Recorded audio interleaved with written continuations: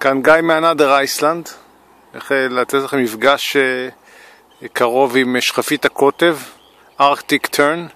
זו ציפור אה, הנודדת אה, שעוברת את המרחק הכי גדול מכל בעלי החיים בטבע.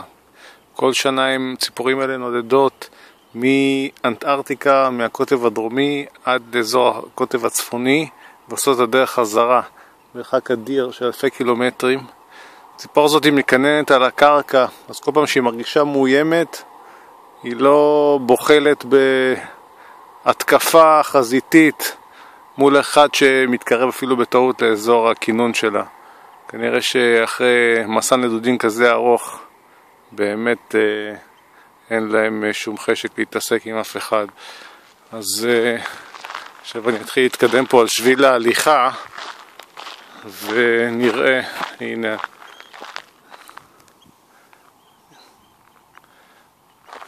כן, זו הייתה יריית אזהרה. והנה עכשיו היא באה במתקפה חזיתית.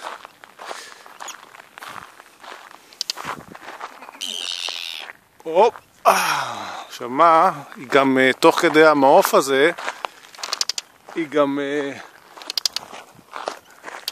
הופ, היא גם דואגת אה, להטיל צואה. הנה עוד אחד מגיע. סוזי.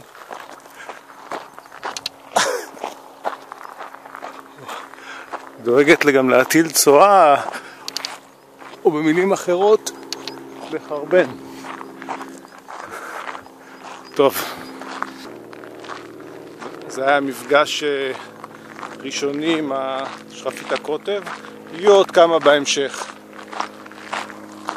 הנה אני הולך פה מול עוד מתקפה חזיתית.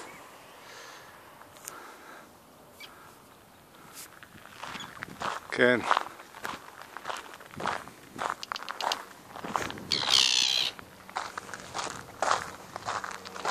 שתיים.